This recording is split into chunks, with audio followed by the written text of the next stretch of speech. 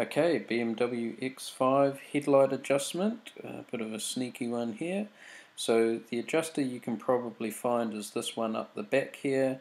That is for the left and right adjustment, but our vertical up and down adjustment is tucked in under here a little further forward, but looking on the same angle towards the outside of the vehicle there. So if you're looking for those, that's where they are. Um, and to adjust that one, it is handy if you've got a stubby Phillips screwdriver like this. Cool, easy, job done. Remember to uh, click a like to help us rank a bit higher and save more people more time. And click subscribe for more tips from Real Mechanics.